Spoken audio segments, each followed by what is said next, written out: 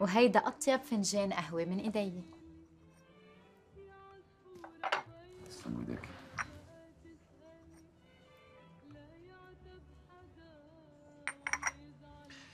بعدها قهوتك طيبة. بس قهوتي. وأنا بشرفك مش صايرة أحلى. خبرني ليش جاي لهون؟ نحن ما اتفقنا. أنا جاي أطمن عليكي بكل بساطة. ولا ما بحق لي؟ أكيد بحق لك.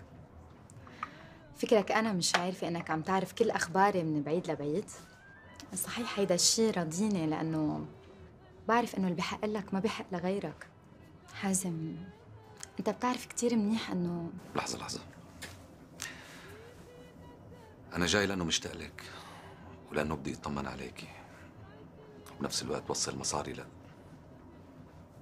أجوزك مثل ما بدك. بلا ما نحكي عن قصص الحب والغرام اشياء بلا طعمة ما هيك؟ أنا مبسوطة حازم. كتير مبسوطة. والله العظيم مبسوطة. مش ناقصني شي؟ كل شي عم بتمناه عندي. كل شي بدي إياه بده يصير عندي. مش فارقة معي شي بقى. أنت ما بتقلي اللي بحب. بيتمنى الخير والسعادة لغيره. مزبوط بس أنا السعادة بالنسبة لإلي ما أنا رزم مصاري. أنا ماني مثالي. بس كل نهار بدور ولو على ساعة واحدة من الحقيقة بحاول أكون حقيقي وبحب أكون حقيقي. حازم خليني سهل عليك الفكرة. أنا بعلاقتي معك كنت قدام خيارين. يا أما أحبك وضل معك وعلاقتنا ما كانت رح توصل لشي. لأنك بتعرف كتير منيح الظروف اللي كنا عايشين فيها. يا أما بعد عنك. بصير مثل هلأ مرتاحة وغنية. بصراحة أنا نقيت الخيار التاني لأنه واحد منا بالنهاية لازم يخسر. وأنا ربحت. ربحت إنه صرت غنية وصرت حبك أكتر. الخسارة خسرتك. كيف تنصرف هي؟ كان مفروض واحد منا يضحي. مش أحسن ما نطلع اثنيناتنا خسرانين؟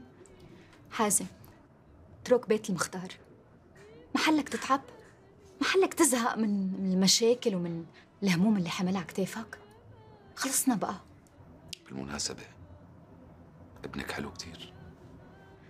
وين شفته؟ شو عرفك فيه؟ الله يخلي لك اياه اسمعيني منيح. في كلمتين لازم أقول لك إياهم. لما الواحد يحب ما بيحط مواصفات للشخص اللي بيحبه. لا سلبا ولا ايجابا. بحب هيك خبط لزق. أنا حبيتك. حبيتك وما بحسن إنساكي. يمكن هذا قدري. بس بالأخير هي حياتك وأنت حرة فيها. بس حوعدك إني ما رح غيرك.